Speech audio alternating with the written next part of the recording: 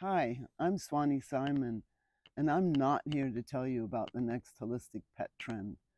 I want to teach you to think for yourself, to give you a deep understanding of what sickness and health are, how the body functions, how nutrients function within the body, and how to harness the energetics of foods and herbs.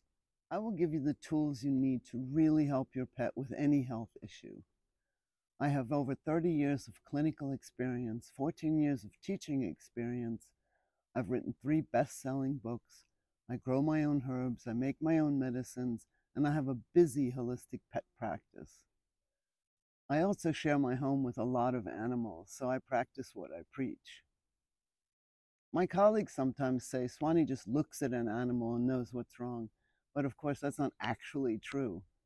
I've just learned to recognize imbalances of the body and patterns of disease. And I want to teach this to you too. So if you're ready to take control of your pet's health and stop experimenting or guessing to see what will help your pet, then let's get started right away.